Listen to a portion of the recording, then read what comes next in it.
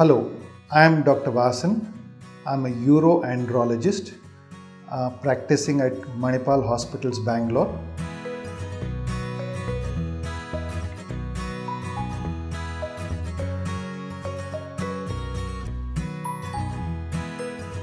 Now, anti aging has always been researched and searched extensively, and this is something everybody wants.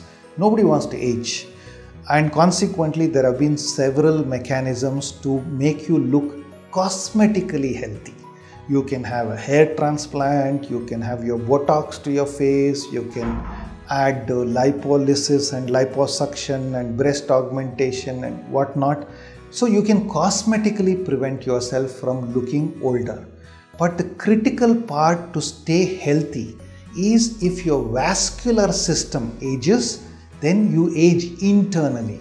So, internal aging prevention mechanisms are the most critical for an active, healthy um, life, and that is what we believe.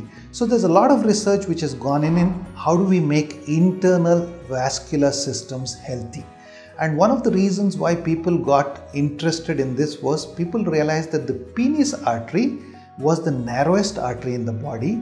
And by looking at those men who have significant erectile dysfunction, along with, say, diabetes or hypertension, can we and uh, they also looked at whether these men how many of these men who had erectile dysfunction had they had significant heart disease and they found that some of them had no heart disease and they tried to see whether we can prevent heart disease developing in these men by treating erectile dysfunction.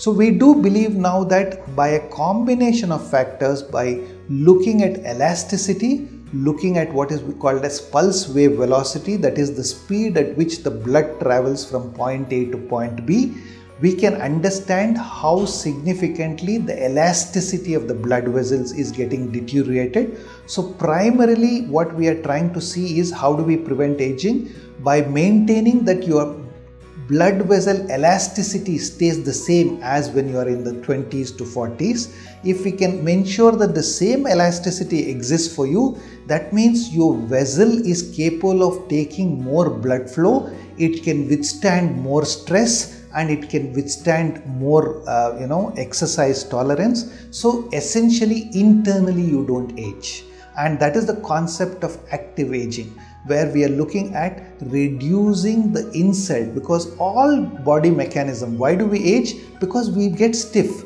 Our bodies get stiff. Our joints get stiff. The elasticity goes away. Our skin loses its tone. Everything is related to elasticity. So the prevention or active aging strategy is we can now look at actively predicting who has elasticity loss, who has a higher risk of a heart attack, and how early can we predict? Almost 24 to 36 months before an actual heart attack happens we can predict who are the men who are at a higher risk of a heart attack. And that's where the lot of research has gone in. A lot of tools have been developed which are non-invasive. That means i don't need to do an angio i don't need to do a stress test to identify this is much before an angio becomes positive, much before a stress test becomes positive. So that's what is called as vascular risk assessment, which helps you understand are you in a danger zone for a heart attack, are you in a safe zone for a heart attack, or where are you? And you can institute uh, therapies to modify it. That is the most important. So, this is preventive management.